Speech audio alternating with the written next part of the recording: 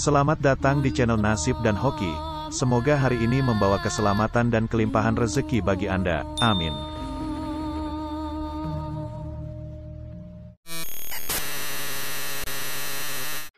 Assalamualaikum, salam sejahtera, Om Swastiastu, Rahayu, Rahayu, Rahayu. Video nasib dan hoki pada kesempatan kali ini, akan membahas mengenai beberapa ciri orang yang memiliki ilmu rasa tingkat tinggi menurut kitab Primbon Jawa Kuno dan Spiritualitas Kejawen. Menurut kebudayaan Jawa, setiap manusia memiliki apa yang dinamakan dengan rasa sejati, yaitu sebuah rasa yang berasal dari diri sejati atau ruh sejati manusia di mana dibentuk langsung dari cahaya yang dimiliki oleh Sang Pencipta alam semesta.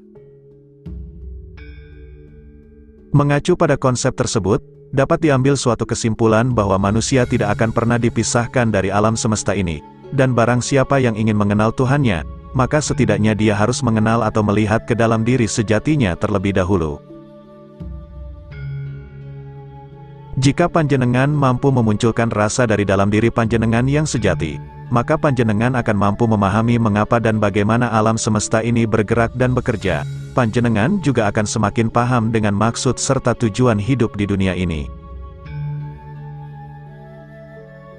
Berikut ini adalah ciri-ciri orang yang memiliki ilmu rasa tingkat tinggi, di mana pada urutan yang pertama, adalah berani mati di dalam hidup.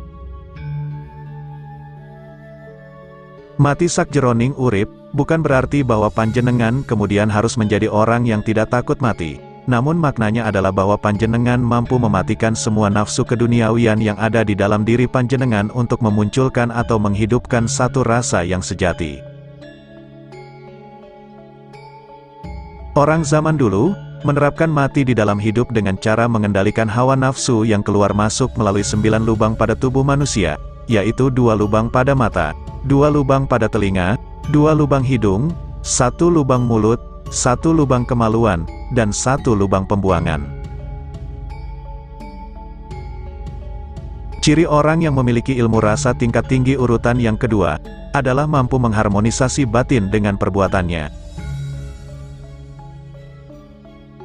Seseorang yang memiliki rasa sejati, maka hidupnya akan lebih dekat dengan sang penciptanya, dan yang terpenting hal tersebut tidak hanya akan diwujudkan dengan kata-kata saja, namun juga akan selaras dengan perilaku dan perbuatannya. Ketika rasa sejati muncul di dalam batin panjenengan, maka otomatis perilaku panjenengan akan mencerminkan sifat-sifat agung dari sang pemberi hidup, sehingga apa yang panjenengan lakukan akan mencirikan sifatnya yang utama, yaitu cinta kasih kepada sesama dan semua makhluk hidup lainnya. Ciri orang yang punya ilmu rasa sejati tingkat tinggi urutan ketiga, adalah memiliki adab dan tata krama yang baik. Jika rasa sejati sudah muncul pada diri panjenengan, maka panjenengan akan memiliki pedoman ilmu padi, yaitu semakin berbobot suatu ilmu yang dimiliki, maka juga akan semakin rendah hatinya, atau semakin memiliki banyak pengetahuan, maka dirinya akan merasa semakin kecil di tengah alam semesta ini. Di dalam kehidupan sehari-hari, Orang yang memiliki ilmu rasa ini biasanya akan terlihat sebagai orang yang mawas diri, sopan, dan memiliki tutur kata yang bisa membawa kedamaian dan ketentraman.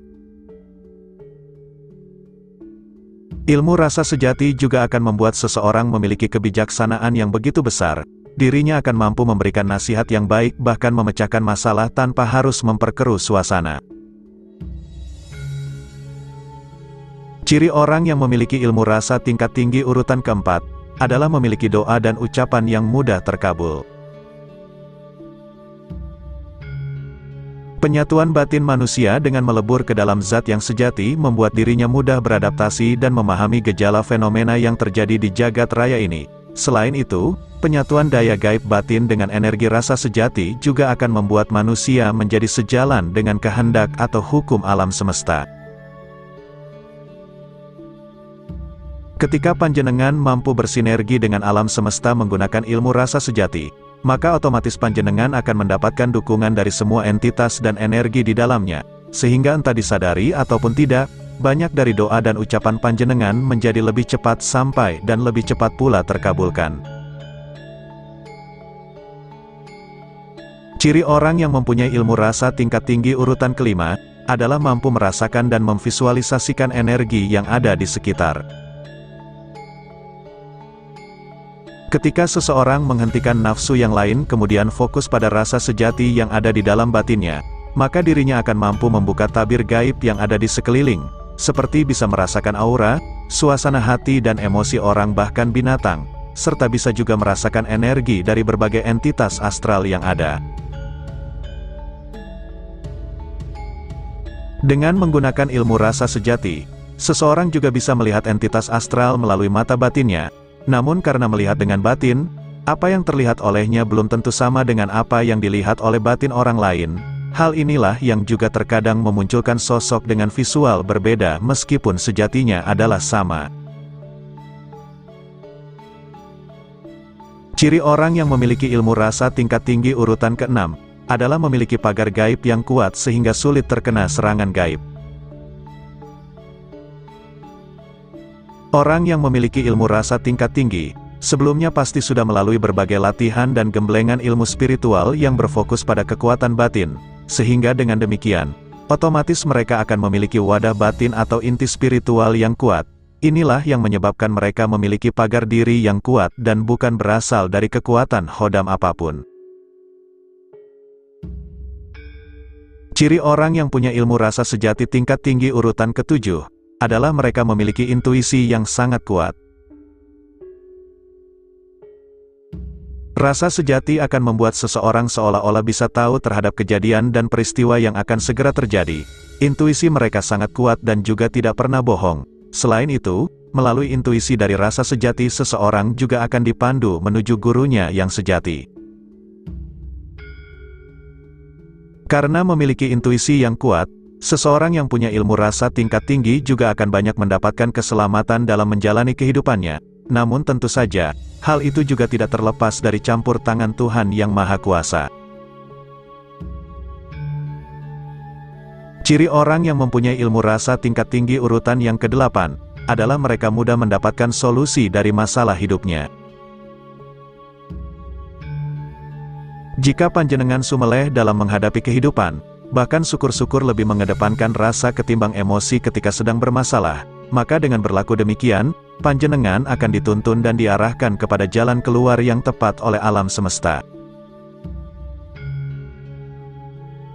Semua masalah yang selama ini membuat panjenengan gagal untuk move on, juga akan terselesaikan dengan mengedepankan rasa, bahkan orang-orang yang selama ini berbuat tidak baik dan menyimpan kepalsuan juga akan berhenti dan terbongkar. Itulah tadi video singkat mengenai 8 ciri orang yang memiliki ilmu rasa tingkat tinggi. Semoga, bisa menambah wawasan dan pengetahuan kita semua yang menyaksikannya. Dan sebagai pamungkas, admin doakan agar panjenengan sekeluarga selalu diberi kesehatan dan kemudahan dalam segala urusannya untuk mencari rezeki. Amin.